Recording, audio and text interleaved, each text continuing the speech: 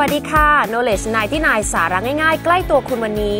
มาพร้อมกับอากาศที่ร้อนระอุ สลับกับมีฝนตกเป็นบางช่วง อากาศแปรปรวนน่าดูเลยนะคะ เลยพานทำให้ลูกน้อยของหลายๆ คน ป่วยเป็นไข้กันเป็นแถว คุณพ่อคุณแม่ก็เลยเตรียมปลุกลูก เพื่อเช็ดตัวลดไข้ให้ตลอดทั้งคืน แต่หยุดก่อนค่ะ การปลุกลูกมาเช็ดตัวทั้งที่ลูกหลับสบายไปแล้วนั้น เป็นเรื่องที่ผิดนะคะ แล้วจะมีวิธีดูแลอย่างไร ให้ลูกน้อยของเราหายไข้ได้ไวและปลอดภัย แพทย์หญิงวารุณีพันพาณิชวันเดอพิษกุมารแพทย์ผู้เชี่ยวชาญด้านโรคติดเชื้อในเด็ก จะมาอธิบายวิธีที่ถูกต้องให้เราได้ฟังกันค่ะ หลายคนเข้าใจผิด หลักการรักษาไข้ไม่ได้เพื่อรักษาเพื่อจะให้อุณหภูมิกลับสู่ระดับปกตินะคะ การรักษาไข้เนี่ยเพื่อลดความทุกข์ทรมานจากพิษไข้เท่านั้น คุณแม่บอกไข้ 38 กลางคืน นอนหลับสบาย แต่แม่ปลุกเช็ดตัวทุก 3 ชั่วโมง เวลาเราเป็นผู้ใหญ่เนี่ยเราเป็นไข้เราเช็ดตัวไหมคะ แล้วทำไมเราไปปลุกเด็กมาเช็ดตัว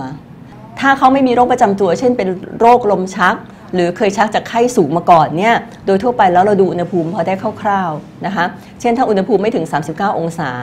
เด็กหลับสบาย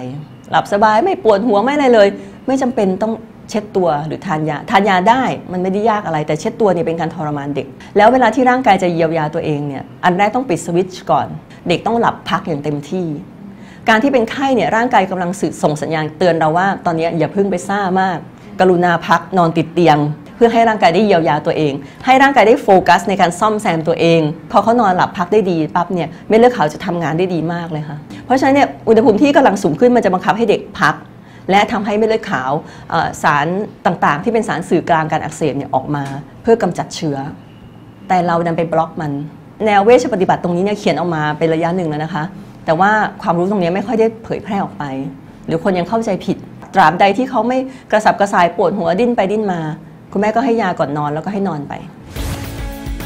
ฝากไว้อีกนิดสำหรับเรื่องของการชักเพราะไข้สูงในเด็กนะคะ หากเด็กมีอายุตั้งแต่ 6 ปีขึ้นไป